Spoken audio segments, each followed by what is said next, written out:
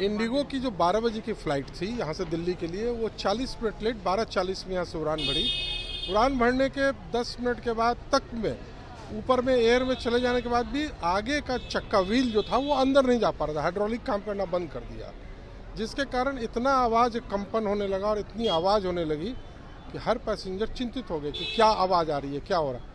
तो कैप्टन ने कहा कि आगे का वो है सो हाइड्रोलिक व्हील नहीं काम कर रहा है अंदर नहीं जा रहा है।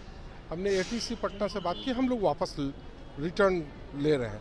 फिर रिटर्न लेकर एक बार आए तो लैंडिंग लेना चाहा तो नहीं हो पाया। ड्यू टू सम कोई टेक्निकल प्रॉब्लम या फ्यूल वूल ज़्यादा था, हवा में दो चक्कर मार के फिर कैप्टन ने बहुत अच्छे स्मूथली लैंडिंग कराया।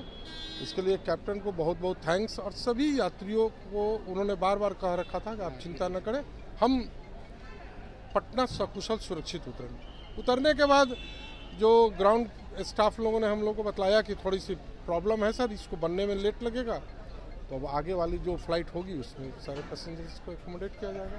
ठीक। आपको तो